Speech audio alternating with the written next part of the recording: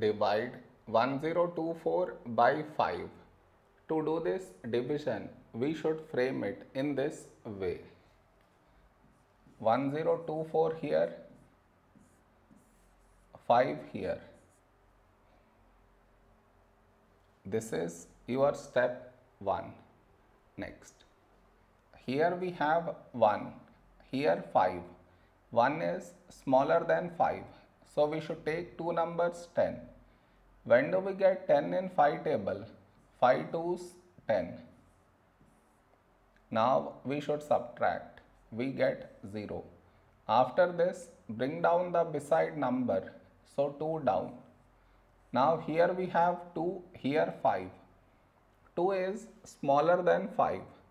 So we should bring down the second number. And the rule to bring down second number is put 0 here. Then only we can bring this number down. So 24.